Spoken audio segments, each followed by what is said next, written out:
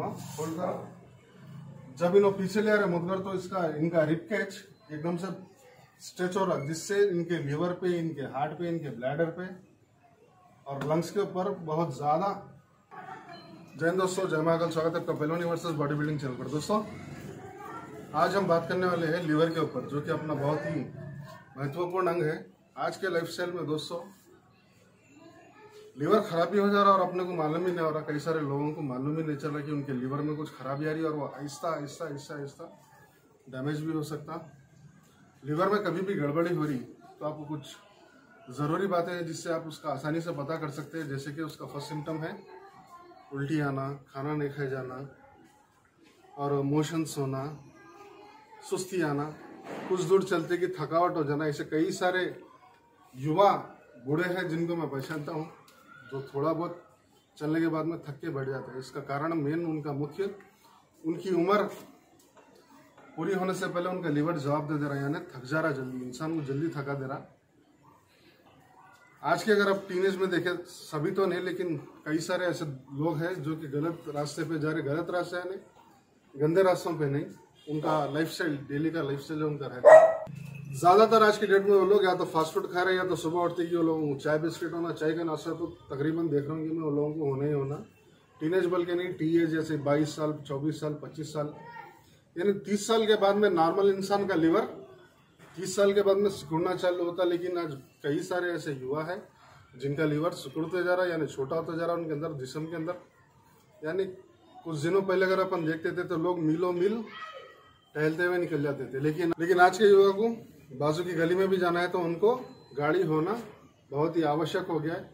दस कदम भी नहीं चल सकते वो लोग। तो ऐसे कई सारे मेरी माताएँ बहनें भी हैं जो कि उनके डेली लाइफस्टाइल से जो खाना खाते वो लोग। पहली बात, अपने को जो घर में खाना बन रहा, वही खाना अपने को बरोबर नहीं मिल रहा। फर्टिलाइज़र का खाना आ रहा।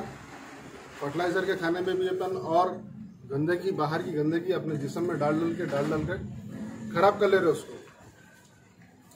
तो ऐसे कुछ ड्रिंक्स हैं जिसके बारे में आज मैं आपको बताऊँगा, जिससे आपका लीवर तंदुरुस्त रहेगा और ऐसे थोड़े अभ्यास है जिसको बताने से आपका लीवर के अंदर फिर वापस से पुरानी जान आ जाएँगी, आपका लीवर एकदम स्ट्रांग आ जाएँगे, यानी हार्स पावर देखिए घोड़े के अंदर कितना हार्स पावर रहता, चाहे वो घोड़ा रहने दो, चाहे कुत्ता रहने दो, उसके अंदर लीवर की, उसकी जिसम की ताकत है। और इंसान अगर कोई लीवर को अपने मज़बूत रख ले तो उसका जिसम पूरा फिट रहता। लीवर बहुत ही महत्वपूर्ण अपना ऑर्गन है। तो ये शुरू करते हैं आज का वीडियो। लीवर को डिटॉक्सिफाई करने के लिए दोस्तों, पहले तो व्यायाम ज़रूरी, उसके बाद उस आपका खान पान जिसके अंदर मेरी, मैं आपको पर्सनली सजेस्ट करूँगा कि मेरी फेवरेट एक्सरसाइज जो कि भस्त्रिका, समतोला मुक्की से करने का है, कुछ जैसे कि ये।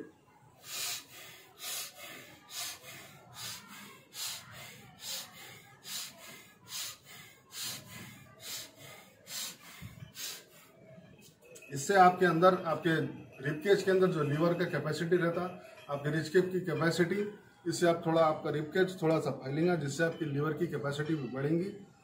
जो सिकड़ा हुआ लीवर है, उसको फैलने में, यानी जो नॉर्मल साइज़ है, उसको आने में बहुत ही ज़्यादा उपयोगी है ये। इस अभ्यास के पास दोस्तों, अपना हमेशा का क्षत्रिय प्राणायाम में मुदगर भस्त्रिका, देखिए।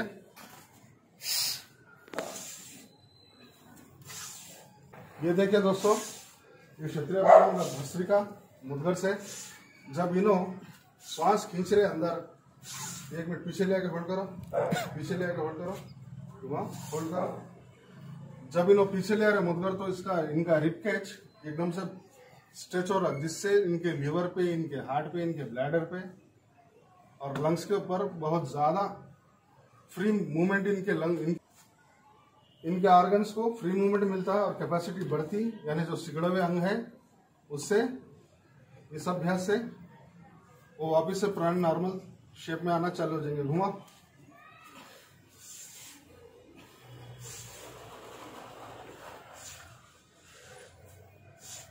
बस।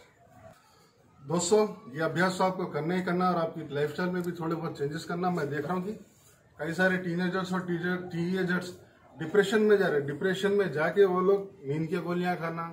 पता नहीं, नींद की गोलियाँ नहीं मिले तो वो लोगों को कई कई किस्म की गोलियाँ खाते वो लोग कि उनको कुछ हो जाना, बल्कि ज़िंदगी आपको बार बार नहीं मिलती, एक ही बार आपको जीवन मिलता। अगर इतने ही आप लोगों को खुदकुशी करने का शौक है तो जाके आप फौज में भर्ती हो जा सकते अगर जाने से पहले उस देश के लिए अच्छा भी काम कर सकते किसी के लिए पागल होना, किसी के लिए पीछे पढ़कर अपनी ज़िंदगी से खेलना, ये गलत बात है। और एक कारण है दोस्तों, जैसे कि आमतौर पर आज मदिरापान हो रहा। छोटी छोटी एजों में मदिरापान करना चालू करते रहे ये भी एक लीवर खराब होने का कारण है। लेकिन आज जो मुख्य कारण है, जो अच्छे लोग हैं, उनका भी लीवर खराब होने का कारण बाहर का ऑयली फ़ूड स्पेशली जो रेस्टोरेंट्स में मिलता, ये जो आपको हैमबर्गर रहता पिज़्ज़ा रहता डबल चीज़ जाके आप हमेशा देख नहीं सकते कि बाहर आपको क्या क्या मिल रहा, वो लोग क्या क्या डाल रहे जिससे आपकी बॉडी एकदम खराब होते जा रही आइए शुरू करते हैं दोस्तों, पहले ड्रिंक से। तो इस जूस की शुरुआत दोस्तों, आप एक लौकी लीजिए। लौकी, उसके अंदर आप डालिए थोड़ा सा धनिया, उसके अंदर थोड़ा सा गिलोय का जूस।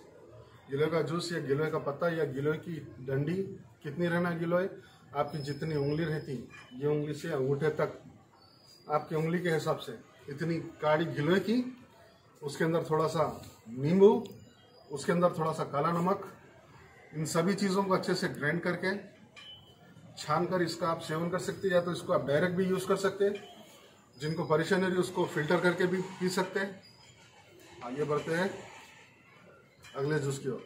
दोस्तों, ये अगला वाला अपना ड्रिंक जो कि बहुत ही आसान है, इसके अंदर आपको ज़्यादा कुछ करना नहीं है, आपको लेना है एक लीटर पानी। एक लीटर पानी लेकर उसके अंदर आपको या तो किशमिश या तो मुनक्का डालकर उसको अच्छे से उबालना है। उबालने के उसको कम से कम सात सौ कर लेना उसको एक लीटर पानी को सात सौ करके। रात भर उसको भीगने छोड़ देने देना है। सुबह उठना है वो पानी को आप, वो पानी को आपको छानना है। मुनक्का या किशमिश आपको बाजू लगाना है। सुबह सुबह जितना हो सके उतना पीजिए पीजिए। उसके बाद उसको ऐसा ऐसा उसका सेवन करते रहिए आप। दिन भर में आपको एक एनर्जी फील होंगी आपको थकान महसूस नहीं होगा आपका लीवर एकदम से नॉर्मल साइज़ में आना चालू हो जाएगा। और जो किशमिश बचे हुई है किशमिश और मुनक्का, उसको आप स्मैश करके थोड़ा बहुत रोटी से भी खा सकते हैं या किसी भी प्रकार से उसका सेवन कर सकते हैं। फेंकना नहीं है। आइए बढ़ते हैं तीसरे जूस की ओर। तीसरे डिंग में दोस्तों, आपको लेना है डेढ़ सौ ग्राम पालक लेकर उसको अच्छे से ग्राइंड करके उसके अंदर एक चुकुंदर डालिए, यानी शलजम, जो लाल कलर का था, अगर उसके पत्ते भी मिल रहे हैं आपको तो वो बहुत ही फ़ायदेमंद। ये दोनों के अंदर थोड़ा सा काला नमक डालिए, इसको अच्छे से ग्राइंड करके इसको आप डायरेक्ट भी पी सकते हैं या तो इसको फ़िल्टर करके भी पी सकते हैं। मैं आपको सजेस्ट करूँगा कि आप इसको डायरेक्ट इसका सेवन कीजिए फ़िल्टर मत कीजिए। आपके अंदर एक तो एनर्जी आएँगी लीवर वापस से नॉर्मल आएगा। और साथ ही साथ आपको कभी भी हीमोग्लोबिन की परेशानी उठाने का, आपको सवाल ही नहीं पैदा होगा आइए बढ़ते हैं चौथे जूस की ओर, यानी चौथे ड्रिंक की ओर। अपना चौथा ड्रिंक भी दोस्तों बहुत ही आसान है, जिसके अंदर आपको ज़्यादा करना नहीं आपको लेना है एक लीटर पानी, एक लीटर पानी को लेके। उसके अंदर थोड़ा सा आपको डालना है पुदीना और तुलसी। इसको आधा करना है उबाल उबाल कर अच्छे से उबाल उबाल कर तुलसी और पुदीना को आपको अच्छे से उबालना है। उबाल कर उसको करना है आपको आधा यानी एक लीटर पानी को आधा लीटर करना है उसके बाद में उसमें से पुदीना निकाल देके उसके अंदर डालना है कम से कम दो से तीन संतरे का जूस। दो से तीन संतरे का जूस और तो एक, एक से दो नींबू। साथ ही साथ इसमें मिलाइए आप थोड़ा सा काला नमक। हमेशा काला नमक का ही सेवन कीजिए या तो समुद्री नमक या तो काला नमक। बाज़ार में जो मिलता उसका सेवन करें तो अपन करके नहीं करके फ़ायदा नहीं। कई सारी बीमारियाँ और आ सकती। लेकिन आप काला नमक उसमें डालकर उसका सेवन कर सकते हैं, जिससे आपको लीवर के साथ साथ आपको दिन भर एनर्जी बने रहेगी। आइए बढ़ते हैं अपने पाँचवें ड्रिंक की ओर। अपना अगला ड्रिंक है दोस्तों, आंवला, सेंधा नमक, गाजर और धनिया का। इन चारों को अच्छे से ग्राइंड कीजिए, उसके अंदर पानी डालिए। हो सके तो थोड़ा बहुत गर्म पानी डाल के इसको अच्छे से इसका जूस निकालने के बाद अगर आप इसका सेवन करते हैं तो आपको एंटीऑक्सीडेंट प्रॉपर्टीज़ इसके मिलेंगे। और जितना भी आप अपने लीवर को बाहर का खाना खाकर दूषित कर रहे हैं, वापिस से इसको एक नया जीवन, पुनर्जीवन मिलेगा। दोस्तों, अगर वीडियो आपको अच्छी लगी तो अपने प्रियजनों के साथ इसे शेयर ज़रूर कीजिए। बहुत जल्दी मिलते हैं अगली वीडियो में। तब तक के लिए जय हिंद, जय महाकाल।